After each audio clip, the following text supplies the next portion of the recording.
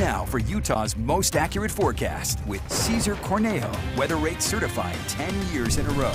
It's all blue skies and smiles for our Monday, and that's really what we can continue to expect here around the Wasatch Front for today. But as we go into tomorrow, that's where we see a few changes. Again, the calm start to the work week, but we have an incoming system and much colder air moving in. And do we see any dry periods?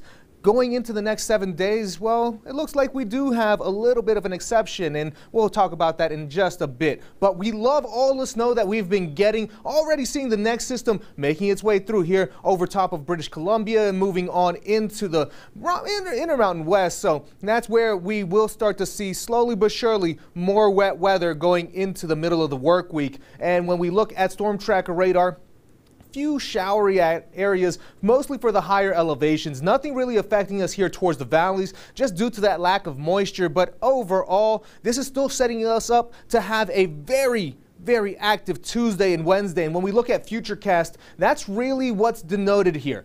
We'll start to see slowly but surely by Tuesday morning around the Caribou Highlands and around southern Idaho. That's where we'll have that snow slowly building in. Moves into the Cache Valley, parts of northwest Utah as well by lunchtime. And as we go towards the evening commute, if you have to drive north on I-15 between Logan and Salt Lake City, that's where we can start to see some issues. Again, it starts to fill in more into the over, excuse me, evening hours. Overnight really picks up into Wednesday. Could see a little bit of a messy morning commute as well, especially around the I-15 corridor where some of this still continues even into Wednesday evening. Look at that. Cedar City will still see a little bit of that snow. Going into Thursday, drying out, just seeing those cooler temperatures really holding on. And that's why we have these winter weather advisories and a winter storm warning for the mountains. So again, we could see some heavy snow in a few of these areas starting by Tuesday morning, lasting until Wednesday evening. And when we look at snow totals for right now, again, not going to see a ton of snow, but definitely a good amount here in the valleys. The northern, excuse me, the mountains will definitely benefit from this, especially the cottonwoods. But over towards the central and southern valleys,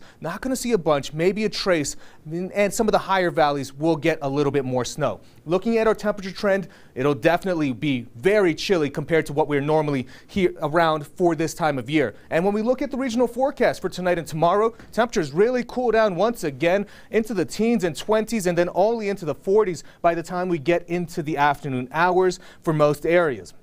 St. George's seven day forecast, seeing those temperatures stay, stay, around the 50s, even 60s, cooling down by the time we get to Thursday with a late evening chance of shower activity, rain mostly by Wednesday evening. Wasatch Front, all of that activity starts to wrap up by the time we get to Thursday and then colder by Friday and even still lingering below average into Saturday. But if you want to stay ahead of all this wet and winter-like weather, well, be sure to download the Pinpoint Weather app on your smart device using the QR codes on the screen or through your app store. Stick around for more news.